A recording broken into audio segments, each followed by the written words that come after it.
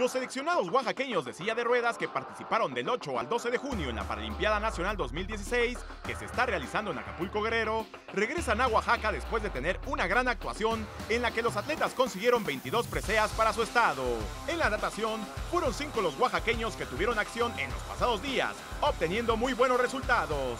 Rafael de Jesús Ángeles Ramales consiguió 5 medallas en la categoría sub-18, siendo dos oros en 400 metros libres y 100 metros mariposa. Por otro lado, se trajo plata en 100 metros dorso, 100 y 50 metros libres. Joanny y Luis Zabaleta en sub-18 fue de las que más cooperó con la cosecha de medallas, con un total de 6 preseas, 3 de oro en 100 metros dorso, 200 metros combinado y 100 metros pecho, y 3 más de plata en 100 metros mariposa y 100 y 50 metros libres. Por último en la natación, Ingrid Yositsune Cervantes Reyes culminó su participación en la categoría sub-15 con 3 podiums, trayendo bronce en 450 metros libres, además de 100 metros dorso.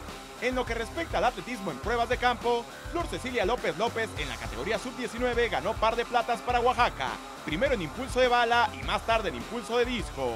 Stephanie Tamar Ruiz Torres, también en sub-19, tuvo una gran participación con la delegación oaxaqueña de silla de ruedas, ganando para su estado tres medallas áureas, en impulso de bala, impulso de disco y lanzamiento de jabalina. Por último, Iván Orozco Cruz, en la categoría sub-22, se adjudicó tres platas en esta Paralimpiada Nacional, en impulso de bala, impulso de disco y lanzamiento de jabalina. Informó para MBM Deportes, Pablo Vázquez.